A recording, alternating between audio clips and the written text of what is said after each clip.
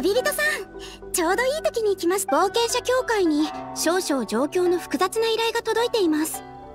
我々の判断ではあなたこそがそれを対処するのに最も適したお方です。さすがはあなたですね。でははっきり言いましょう。今回の依頼者はリーユエから来ており見た目が個性的な若い音楽家の方です。彼女は臨時の通行証を持っているのですがもうじき期限切れとなります。追い出されないためにもこのことに詳しい方に頼んで再び手配してもらわなければなりません。そんながっかりした顔するなって。なんで厄介事を期待してるんだよ。でもリーユエから来た個性的な音楽家のお姉さんってどこかで会ったことあるような。うん。あおいらわかったぞ。おや？お二方のお知り合いでしたか？その女性は依頼を出した後に天領奉行に向かわれました。そこで彼女に会えると思います。しかし最近は天領奉行もジムで忙しくしていると聞きました。彼女の問題を解決してあげられる時間はないかもしれません。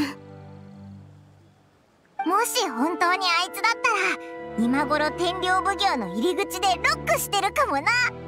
でもロックはすごいんだろ？早く行ってみようぜ。万が一治安妨害で捕まってたらまずい。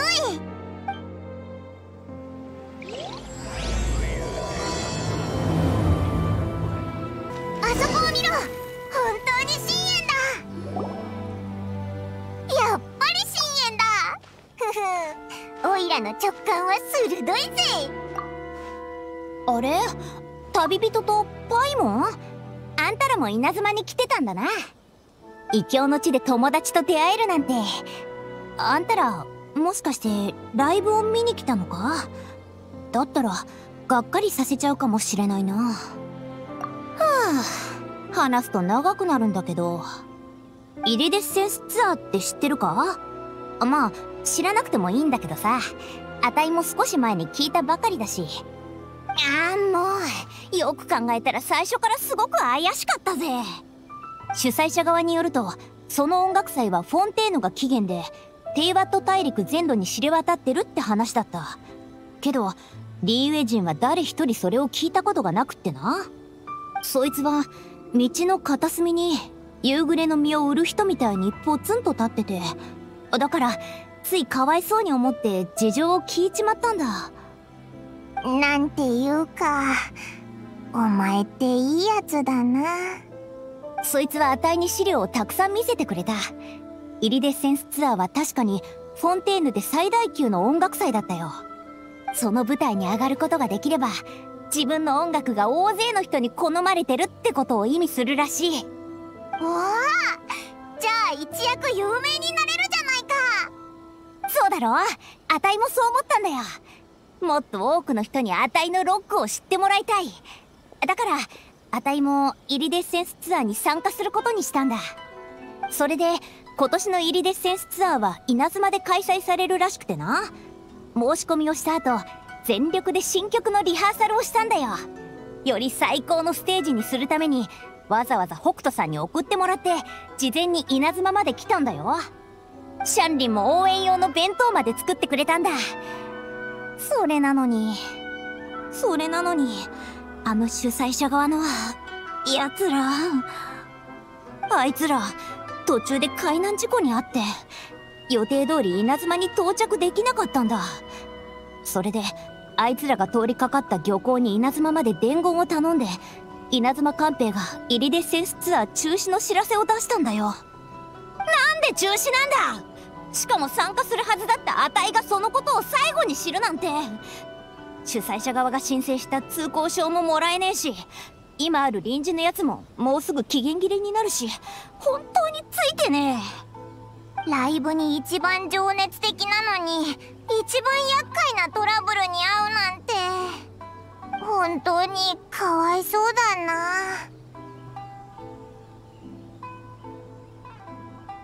はあこれが音楽家の試練ってやつなのかもな。でもコンサートが最終的にできなくなるなんて状況は別に初めてじゃない。よし愚痴はここまでにしよう。意気消沈するような話は終わりだぜ。立ち直りが早すぎる。あたいはロックミュージシャンなんだ。粘り強さこそあたいたちの魂さ。だからすぐに行動を起こすと決めたぜ。冒険者協会に行って助っ人を頼んでいる間あたいは天領奉行に直接行って事情を聞く。同時進行で解決を図ることにした。でもあたいはもうここに半日も経ってる。天領奉行の武士たちが何をしてるのかわからねえがずっと忙しそうにしてるしあたいに構う時間もないみたいだ。そんな。実は何もやることがなくてサボってるだけなんじゃないか？平気平気。外に出た以上困難はつきものだぜ。旅人北斗さんからあんたはもう稲妻についてしばらく経ってるって聞いた。それなら現地のやり方を知ってるはずだよな。あたいを手伝ってくれないか？よかった！通行証のことが終わったらあんたにも情熱あふれる曲をお礼に作ってやるぜ。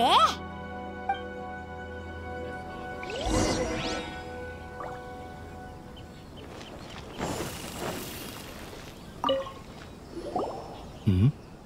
また君か。さっき忙しいと言ったはずだ。あと少し待ってくれ。ちょっと待ったおじさん。今詳しい人が事情を話すから。九条サラ様あ君が上野言っていた旅人か。この外国のお嬢さんは君のご友人で。そうだぞ。こいつは他の奴らにすっぽかされたせいでここで立ち往生する羽目になったから臨時の通行証の期限を延ばしてほしいんだ。外国人を困らせないためだと思ってさここはなんとか頼むよ。少し誤解しているようだがわざとお嬢さんを困らせているわけじゃない。今天領奉行は本当に上も下も大忙しなんだ。最近大きな問題があってね。我々も人手不足なのさ。このお嬢さんの問題を処理できないのは彼女の前で待っている人が多いからではない。通行証を処理するような些細な仕事に誰も時間を割けないからさ。さ些細なこと？あ。俺の立場からでは多くは言えない。九条沙羅様なら中にいらっしゃる。直接聞いてみてくれ。本当に忙しかったのか。いいってことよ。おじさんもいろいろ大変だな。あたいは理解してるぜ。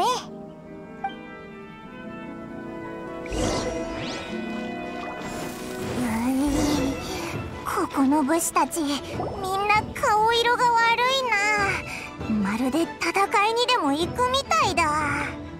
諸君隊列を組め。戦闘部隊に続いて場外に集合だ。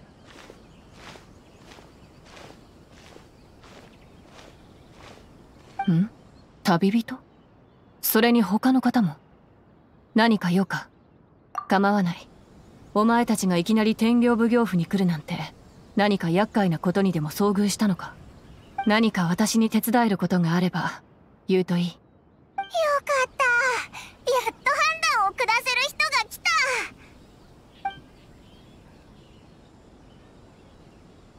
た。なるほど。お前の友人がせっかく稲妻へ音楽を披露しに来たというのにそんなことに出くわすとは本当に残念だ。天領奉行は近頃人事異動が頻繁な上厄介な状況にも見舞われている。人手が全く足りていない。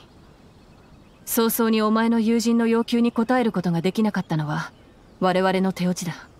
すまない。お前たちがこんなに慌ただしくしてるなんて珍しいな。何か大きな問題でもあったのか？そうだぞ。ただ適当に聞いただけで大変な事情があったんだな。気にすんな。あたいの来たタイミングが悪かったんだ。そうだ。こうしようぜ。お前はオイラたちに何が起きたのか話して。オイラたちができる限り手伝う。その代わりお前は信玄のために通行証の延長を手配する。これでどうだ？あらゆる場面で人手不足の今お前たちのような実力者の助っ人がいれば分かった。事情を話そう。近頃荒海地域に突如名もない秘境が出現し恐ろしい力を持った魔物がその中から次々と現れ始めたんだ。天領奉行は魔物の相手が得意なはずだろう？秘境は想定外の圧力となる。私もすでに偵察兵を調査に送った。もともとは私が直接隊を率いて現場に行くつもりだったが前線に長くとどまれば天領奉行府は誰も監督がいない状況になってしまう。そうなるのはいささか妥当ではない。あんたが欠けることで不足するのが戦力ならあたいたちがそれを手伝う。これでいいんじゃないか？だろ旅人。そうだな。オイラたちが手伝う代わりにお前もオイラたちを手伝う。いいことじゃないか。えっとその言い方はちょっと強引すぎるんじゃ。いや感謝する。確かにそれが今取れる策の中で一番適したものだ。他のものであったなら私は絶対にこの要求を受けない。だが稲妻至高の神将軍様でさえも旅人の実力を認めている。お前たちに任せられるのなら私も安心だ。おいおいあんたら稲妻ですごいことをやったみたいだな。確かに前にシャンリンからも聞いたことがある。あんたは大事をなす人だって。九条サラさんあたいたちはこれからどこに行けばいいんだ？今すぐ現場まで連れて行こう。しかし私はこれまで現場に向かう時間がなかったゆえおそらく安全面については正確に予測できない。念のため各自戦闘用の装備と支援物資をできるだけ用意しておいてくれ。費用は立て替えてくれよいいだろう。ではすぐに府内に申請を。待ってくれ。通行証の手配って費用がいるんだよな。それを立て替えてくれよ。こっちの費用はあたいが受け持つからさ。そんなんじゃねえって。実は船を降りる前に北斗さんからモラを一袋もらったんだ。それを溜め込んどくのもあれだし。それに こんな面倒をかけたんだ。ちょっとは何かしないとな。袋の中のモラはあたいたちで分けようぜ。軍事手当ってことにしよう。本当に理解のある善良な方だな。いいってことよ。気にすんな。それであたいの通行証は？そのことは私が直々に手配しよう。安心してくれ。おおありがとう。決まりだな。じゃあ一緒に秘境を制圧しに行こう。ああ行こう。あたいも旅行に来た気分で見聞を広めに行くぜ。おいあそこを見ろ。あの武士たちの様子。やば。九条沙羅様お越しいただけたのですね。先ほど秘境の入り口から調査を開始したところ魔物の襲撃に遭ってしまいました。全力を尽くしほとんどの魔物を秘境内に追い返したのですがいくつか取り逃した魔物が南東方向へと向かってしまいました。負傷した仲間も多い状況です。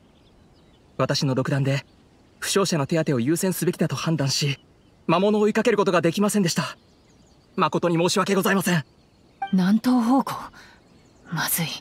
道中には一般人もいる。各位緊急事態だ。しばし兵を二手に分ける。私は逃げた魔物を追う。ここは皆に任せる。余計なお世話かもしれないがくれぐれも身の安全には気をつけろ。安心しろ。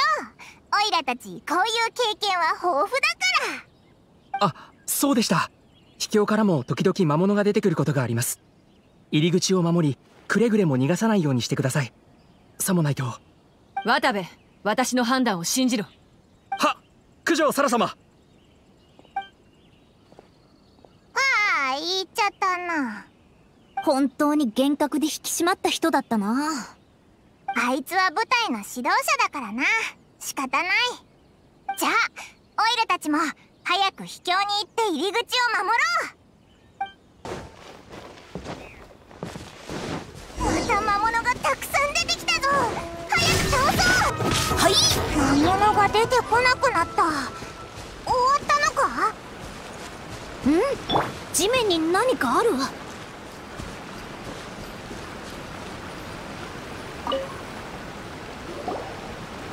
一枚の紙切れ？紙人形？武士が落としたお守りかな？この紙人形伝説に聞く式紙に似てるな。あああたいは歌詞を書くためにいろんなところからインスピレーションを探してるんだ。テイワット各地にある伝説も結構研究したことがあるんだぜ。噂によると稲妻には武術を凝集した紙切れがあって主と一緒に行動するらしい。中には妖魔を断ち切ったり家族の健康を守るご利益があったりするみたいだ。聞いた感じリーユへの呪符とか戦術と似てるな。のいなんだよそれおいらは専門的なテイワットガイドでお前の一番の友達だろそれなのにおいらの戦闘力をバカにするなんて待ってくれこれを見ろこの式紙う動いてるのかおい紙切れ聞こえるか話せるか会話は。できるのかここはあ。僕は意識を失っていたのか？まずい。僕はあそうだ！お前たちあの逃げ出した魔物を見なかったか？どこに行ったんだ？魔物ならさっきこの近くにいたけどあたいたちがやっつけたぜ。は あありがとう。奴らを逃さずに済んでよかった。万が一死傷者が出れば申し訳が立たなくなるお前は式神なのか？あの怪物たちはお前が放ったんじゃないよな。あたいの知る限り式神は魔を駆除する存在だろう。あんた一体どうなってんだ？僕は式大将だ。すまない。初めて会うのに僕の未熟で見苦しいところを見せてしまった。みんなが今いるこの秘境は血録陰陽寮という場所だ。僕はここの漁師寮内にある全ての事務を取り仕切っている。血録陰陽寮は僕と共に長い年月眠りについていた。しかし何日か前この秘境が何らかの力の影響によりまさかまさか魔物を勝手に蘇らせ扉を開くとは。実は僕は一部の記憶が欠けている。覚えているのは目覚めた時に見た悪夢のような光景と無意識のうちにそれらを止めようとしたことだけ。よもやあれらの魔物が倒されると紙札になるとは。その紙札を見てやっと思い出した。奴らが僕と同じくこの陰陽寮の陰陽術による造物であると。陰陽術の造物？何言ってるか全然わからねえ。すまない今はまだ明確な言葉で説明することができない。ぼ僕は、すまない。式神として自分が漁師であることは知っているのに主が誰なのか作り出された目的が何なのかそんなことさえわからない。なんという失態だ！つまりお前は自分がいいやつなのか悪いやつなのかもわからないってことか？でもきっと大丈夫だと思うぞ。記憶をなくしたやつは懐かしい場所に行くと何か思い出せるらしいからな。お前も秘境に戻ってみたらどうだ？ああ今陰陽寮に戻るつもりだ。まだまだ自分自身に数々の疑問があるが僕の力がこの秘境と同じ源であることは感じ取れる。それどころかここと一心同体の存在なのかもしれない。僕なら完全に制御することができるはずだ。なぜかはわからないがそんな風に思える。式神は妖魔を退治する助っ人だってみんな言うしお前はここの扉を守るために配置されたのかもしれないぞ。それに本にこういう話よくあるだろ。う記憶喪失になった人がかつて自分が強大な力を持っていたことを忘れてしまうみたいな。でもそれを思い出した瞬間天下無敵になるんだ。正直なところ僕もそのように思わなくもない。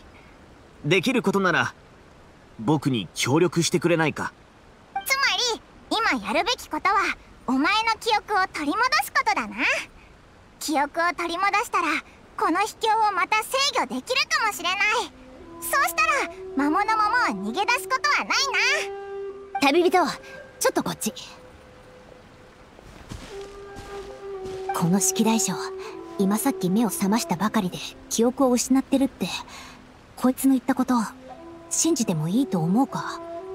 もし本当にこの秘境の門番だったらあたいたちの味方だ。でもああそうだな。誰かを陥れようと考えるのはダメだけど誰も自分を陥れることはないと思って警戒心を緩めるのもダメだ。それに一体誰がこの秘境を建造したのか。なぜ秘境の中にこんなに多くの魔物がいるのか。この場所についてもっと知る必要がある。けどパイモンはだいぶこいつのことを信じてるだろどうやら子供みたいに純粋無垢な心を持ってるんだな。パイモンちょっと待ってくれ。状況が明確にならないうちは警察に行動すべきじゃないと思うぜ。ああ僕も重々承知している。何せ記憶をなくした上にこの陰陽寮と密接な関わりがある。君たちが僕に不安を抱くのは当然のことだ。なんならあたいがあんたの本心を試してやろうか。本心？うなんかすごいことが起こりそうな予感がするぞ。あんたらは信じないかもしれないがあたいみたいな音楽に熱狂的な奴らは肉眼では捉えられない特殊な言語を使えるんだ。この言語はあんたらにだって使うことができる。音楽を媒介して伝えるのさ。どんな言語なんだ？オイラにも聞かせてくれ。この言語はすごく誠実で人の心の奥底にある最も正直な部分を動かすんだ。今からあたいがこの言語を使って式大将が信頼に値するか試験してやるよ。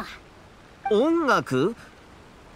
僕はその類のものを深く知っているわけではないが試す必要があると君たちが言うならどんな試験でも受け入れよう。僕は目の前にある危機を解決したいだけなんだ。よしじゃあよく聞けよ。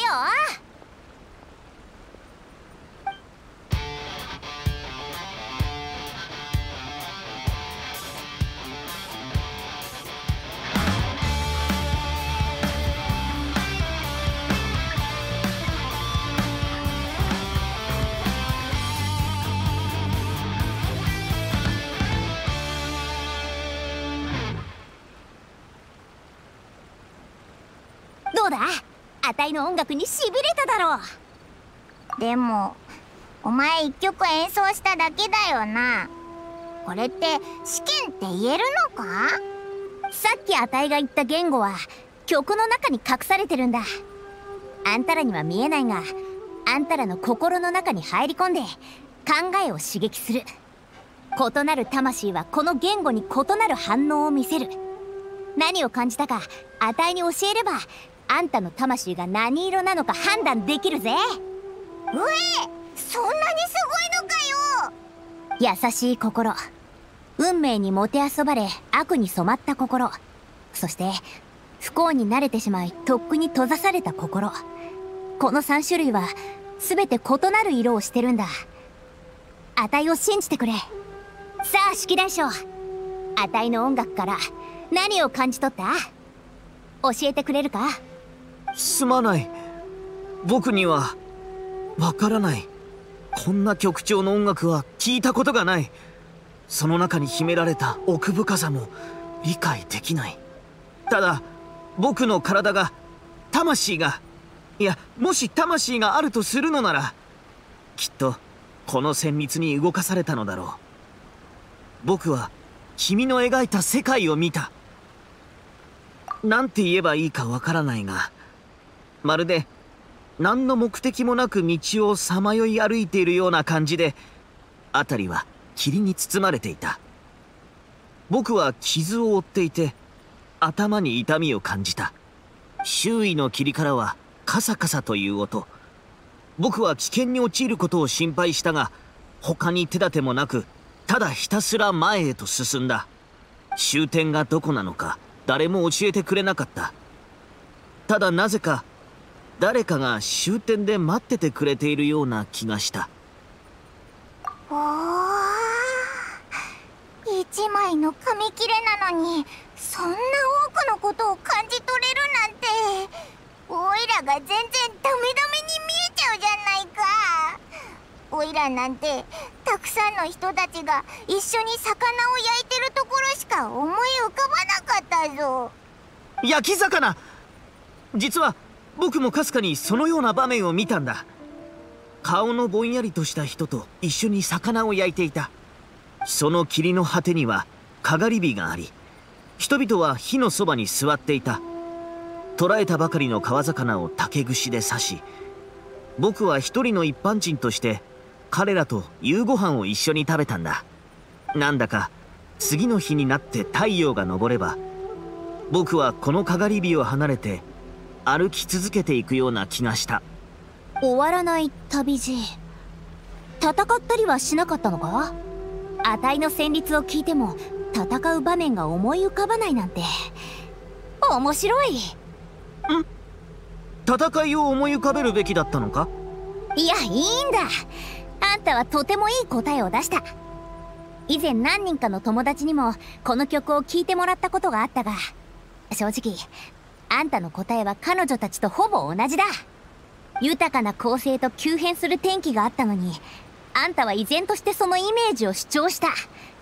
もしかしたらあんたの考え方はあたいの友達と近いのかもしれない。深淵の言った友達ってシャンリンと北斗か？そうあいつらのことさ。志が同じなら進む道も同じって言うだろ。この答えであたいは式大将が信頼できるやつだって信じることにした。本当にいいのか？僕はただ適当に感想を言っただけだ。まさか君がそんなはっきりと僕を信じてくれるなんて。分かってねえな。あたいはな音楽の中の言語を一番信用してるのさ。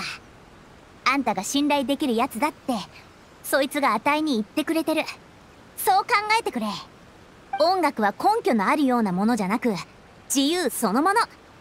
式大将あんたが何千もあるイメージからそれを選ぶことができたのはあんたとあたいたちの間に縁があるからかもしれない。ありがとう信玄さん。いいってことよ。あたいがあんたを信じると決めたのは自分自身の音楽性を信じてるからなんだ。音楽は友を呼ぶってな。あたいのちょっとしたおごりだとでも思ってくれろ あんたも音楽のセンスが良かったんだな。さすがあたいの友達。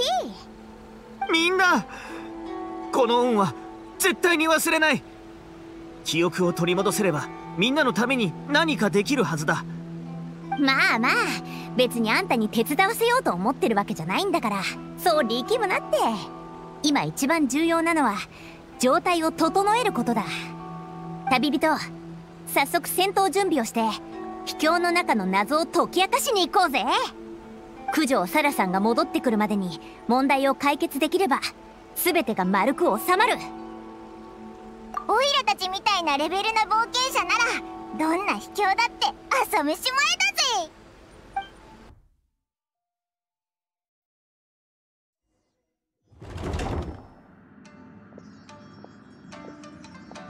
おかしいなこの血力音容量これといって特別なところなんてなさそうだぞ。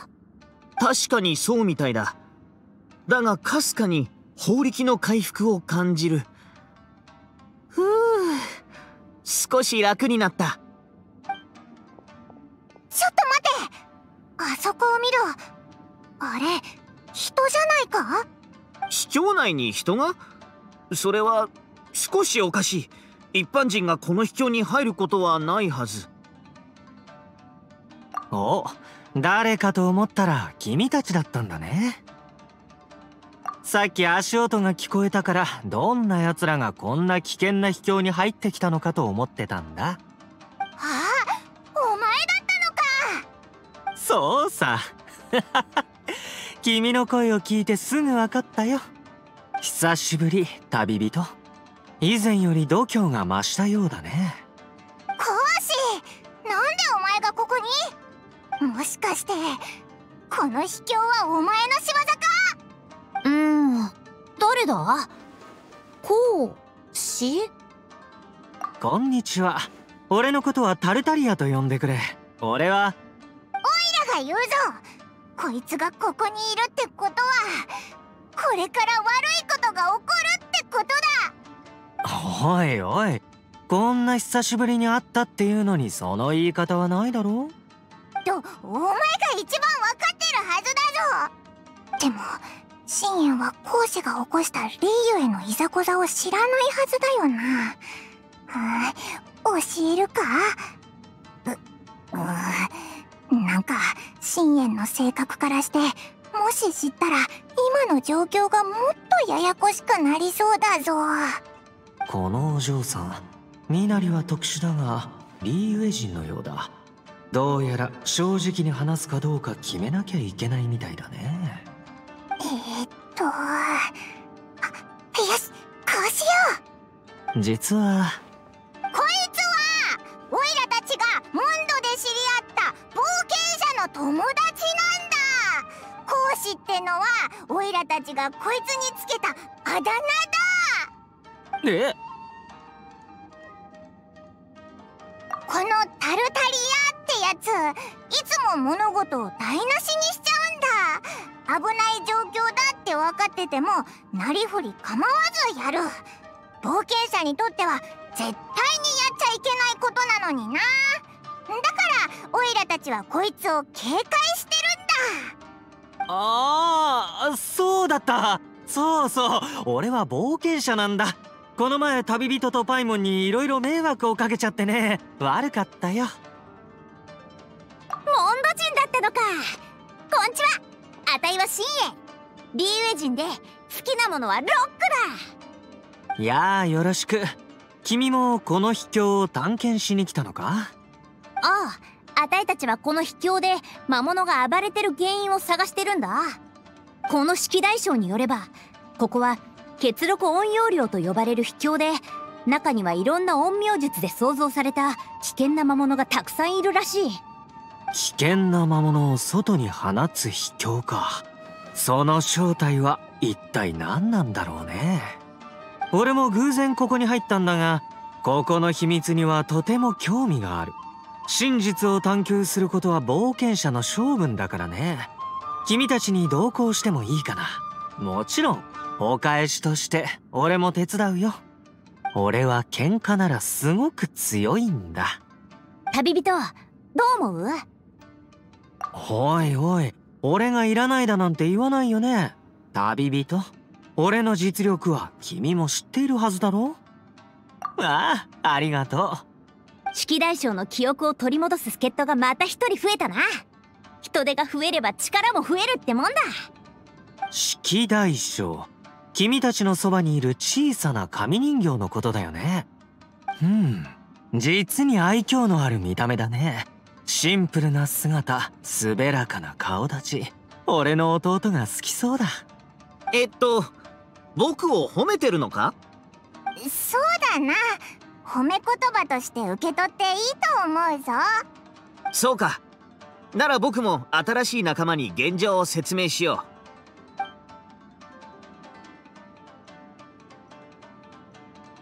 君はここの漁師だって言ったけど俺がここに入った時は君を見かけなかった。つまりその時すでに意識を失っていたのかな。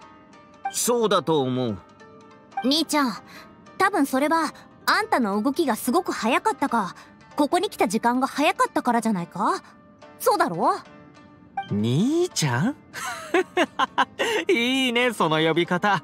とても親しみがあるそんな風に呼ばれると自分の妹のことを思い出すよ。さっき聞いた情報からして式大将はきっとこの秘境の番人だろう。そのことはすぐ確認できるはずだ。式大将はこの秘境に入ってから法力がずっと回復していると言っていた。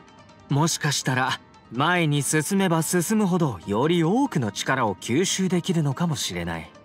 式大将何か思い出したことはあるか？それか何か違和感を覚えるようなこととか。式神の全ては武術に由来するという。力が強ければ強いほど記憶が戻る可能性も大きくなる。領内に戻ってからなんとなくこの秘境の一部を制御できるような気がしてる。漁師の能力なのかもしれない。この部屋の魔物はもう俺が片付けておいたよ奴らは倒されるとボロボロの紙札になるんだ。戦いは楽しかったけど俺は前へ進む方法を見つけられなかった。式大将君は漁師なんだよね。何か心当たりはないかい？試してみよう。勝つ！お扉が開いたぜなんか背中がゾクゾクする。この中すごく不気味だ。おいら一番前は嫌だぞ。魔物の気配だね。戦闘の香りがするよ。ここの魔物はとても強い。前方で俺たちを待ち受けているのは過酷な戦いだろう。正直こういうのは大好物でね。君たちも戦いを楽しむことを学んだ方がいい。強敵だろうとなんだろうとあたいが全部焼き尽くしてやるぜ。じゃあオイラたちを守ってくれ。特に音音が鳴り響いているのが聞こえる。ここはかつて。うん。僕の領域だった。この秘境の中で僕ができることは決して扉や装置を開けることだけにとどまらない。僕は戦える。いや戦い方を知っている。みんな戦闘に関する記憶を思い出した。式札と陰陽術で君たちと一緒に戦わせてほしい。御霊には仕込巴には逃げこの秘境は陰陽術の偉大な成果。ここには何千もの式札がありそのうちの9枚は極地の術とされている。陰陽術は邪悪を払うもの。心して使えば武人も活用できるようになる。その奥深さは全てこれらの式札に隠されている。しかしなぜ人々はこの秘境で戦うのだろうか。ここへ来る途中ボロボロになった敷札やさまざまな兵器を見た。それと焼き魚の匂いも。これらは一体誰が残したのだろう？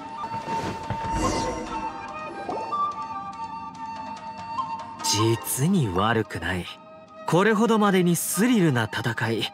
かつてあの場所で経験したもののようだ。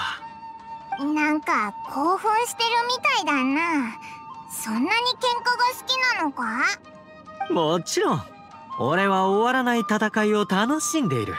命を懸けて全力を尽くし全てをかける。おお講師を連れてきたのは確かに正解だったかもな。魔物をやっつけるスピードがかなり速くなったぞ。足元に気をつけろ。おいあれなんだ？地面の上に小さな紙人形が。式大将にそっくりだ。僕はこれが何なのか知っている。これは僕の拓本。僕を原型にして量産した式紙で僕の力を有している。もしかすると記憶も幾分か持っているかもしれない。これを回収しよう。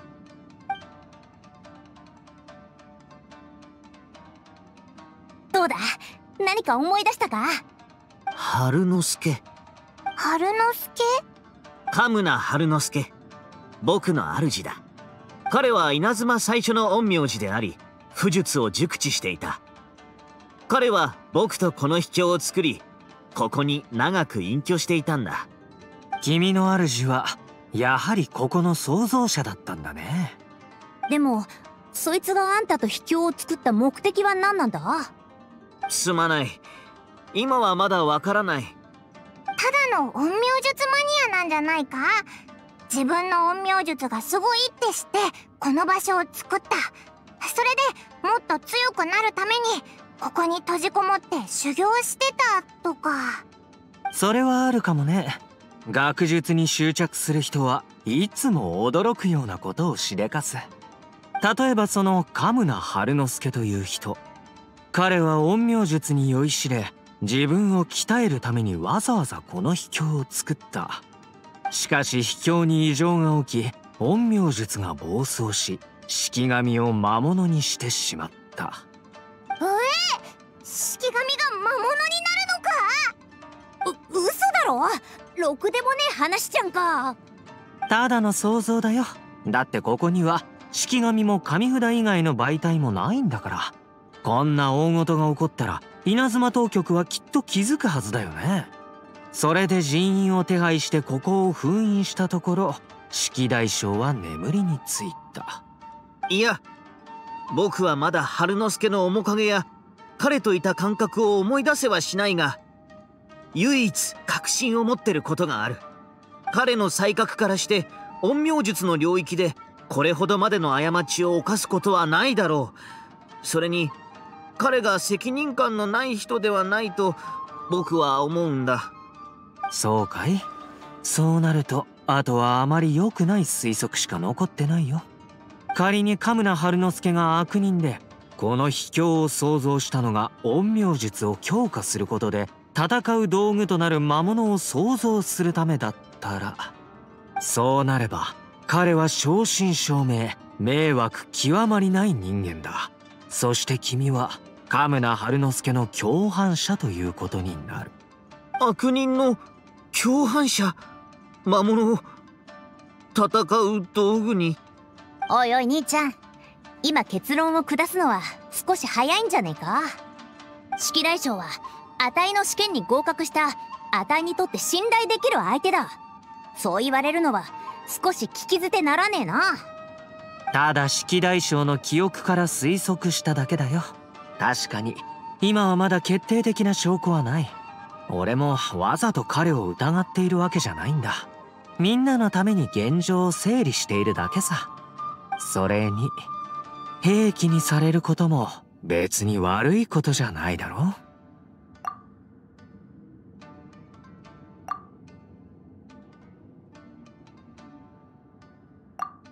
あの扉をくぐり抜ければ次の部屋に到達できるはずだ。式大将の拓本を探してみよう。あれは記憶を取り戻す手助けになる。もしかしたら最新部でカムナ春之助本人に会えるかもしれないね。そいつの実力がどの程度のものかはわからないけどぜひ会ってみたい。引き続き進もう。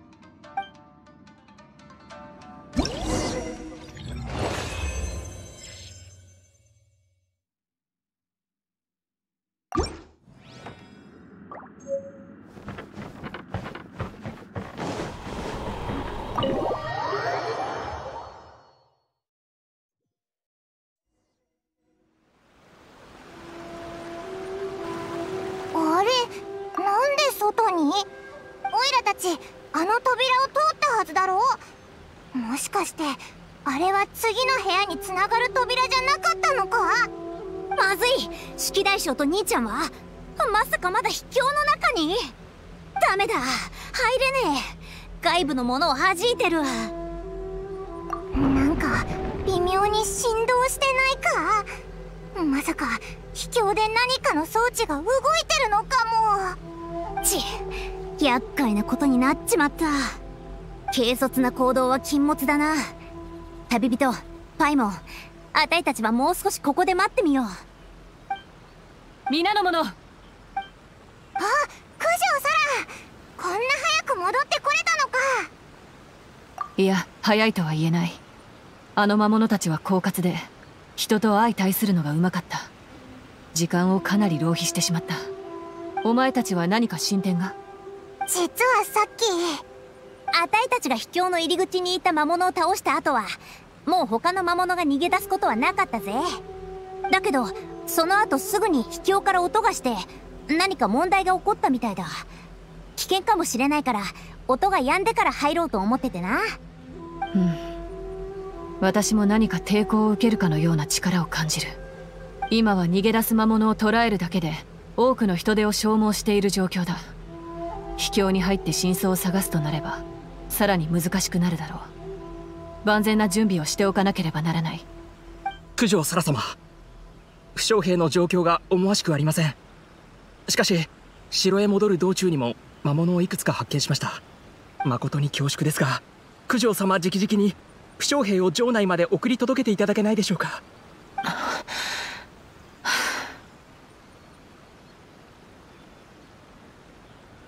仕方ない。皆の者私は先に負傷兵を稲妻城へ撤退させる。その後精鋭部隊を手配してここへ戻ろう。お前たちはすでに多大な貢献をしてくれた。私たちと共に城へ戻ってくれ。九条さんあんたはあたいたちが巻き添えになるのが心配でそう言ってるんだよな。大丈夫。全然へっちゃらさ。あたいたちならここをどうにかできる。あんたは安心して行ってきな。この扉はあんたの代わりに見張っておくからさ。それは本当に申し訳が立たない。人助けは最後までやり通すもんさ。そうだぞお前がいなかった時オイラたちはこの近くで魚を焼いて食べてたんだ。すっごく楽しかったぜ。あたいも新しいインスピレーションが湧いたんだ。波乱万丈の稲妻の旅を記念して一曲作ろうと思ってる。皆の貢献は我々天領奉行全ての者が心に刻もう。このことが終わったらまた改めて礼をさせてくれ。悪いが少しの間この秘境を見張っておいてほしい渡部にもここ一帯にいるよう命じる。何か不測の事態が発生した場合は彼に伝えるといい。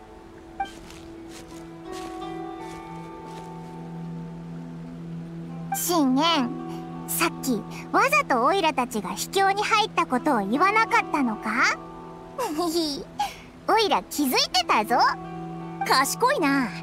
あたいたちも心が通ってきたってわけだ。秘境のことはまだ徹底的に調べ上げてない。もし今幕府の人間を巻き込んだら厄介なことが増える可能性がある。先に言っておくが式大将をエコひいきしてるわけじゃないからな。あただ記憶はあいつにとって重要なものであいつが自分のことについて真実を知るまで他の奴らに誤解させたくないだけだ。ああ他人に誤解される気分は最悪だ。あたいも似た経験がある。時に人っつうのは上っ面だけを信じる。その上それに対する忍耐を持とうともしない。一人一人の見方によって誤解はますます大きくなるんだ。そうなると誤解された人は説明することさえ難しくなる。そんなのは良くない。ロックはいい音楽だが人々に誤解されやすくもある。式大将はあたいの言語が選んだ仲間だ。あたいはあたいの方法であいつを守る。ああ九条沙羅さんが戻るまでに式大将の潔白を証明しなきゃならない。それと天領奉行の人がこの秘境を制圧しようとしてること。式大将には秘密にしておいてほしいんだ。信玄は優しいな。記憶をなくした人の気持ちも常に考えてる。当然のことさ。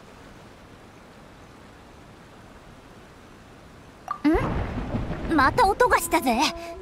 どれどれ？あオイラもオイラ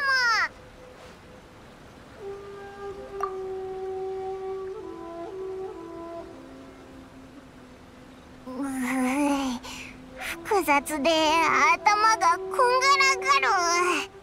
でも全てを話す時が来たらオイラも頑張るぞ。紙人形に負けないようにオイラもしっかりしないとな。旅人こっちに来てみろよ。うーやはり失敗した。式大将大丈夫か？大丈夫だ。先ほど領内の排除に抵抗するため少しばかり力を消耗しただけだ。さっきの扉は扉の形に見立てた仕掛けだあれに触れると音容量の内部にある全ての部屋がかき乱され再構築される。そして変化している間は誰も入ることができない。はあ僕のせいだ。僕の秘境に対する制御力が足りないせいで。そうじゃなかったら今みたいなことにはなってない。そんなに自分を責めるな。講師はどこだ？まさかまだ中にいるのか？わからないだがあの方からは何か不思議な気質を感じた。彼は一般人とは違う。彼にとって戦闘は負担ではなく趣味なんだ。彼はそれに対して恐怖を抱くことはない。そのようなものにならこの秘境を征服できるかもしれない。あいつは確かに面倒なやつだけど意味もわからないまま死なせるわけにもいかない。あいつはチームで最強の助っ人だしな。あの兄ちゃんはずっと余裕な感じを出してたからその実力は信じてもいいと思うぜ。式大将ですら入れないんだ。今は待つしかねえ。だけどあたいは待つのが嫌いだ。なんだか受け身に感じてな。はあどうせ暇なんだし作曲でもするか。式大将新曲を聴いてみないか？ああ喜んで。だが僕は今少々気持ちが落ち着かなくて。お前は式神だろ？オイラたちよりも落ち着かないのか？僕は知っている。みんなが命を危険にさらしてまで僕を助けようとしていること。をだから君たちが秘境内で経験したこと遭遇した戦い受けた傷。それらは全て僕が背負うべきことなんだ。あたいたちリーウェ人は心の静寂を重んじてるあんたがいつまでも落ち着かないでいたら事態がますます悪化する一方だぜ。中にはな圧迫されればされるほど突っぱねて束縛されればされるほど自由を求めて突き進んでいく者もいるのさ。あたいはそういうのが好きだ。そういうタフさをずっと追い求めてる。それがお前の言うロックってやつなのか？そうだ！強さとしなやかさを兼ね備えいつまでも粘り強く逆境に負けない。そんな存在にあたいはなりたいんだ分かった。深淵さん。ではここで静かに時期を待とう。そう来なくっちゃな。じゃあ旅人もし他にやることがあるんなら二手に分かれて行動しようぜ。秘境が解放されたらまたこの近くで落ち合おう。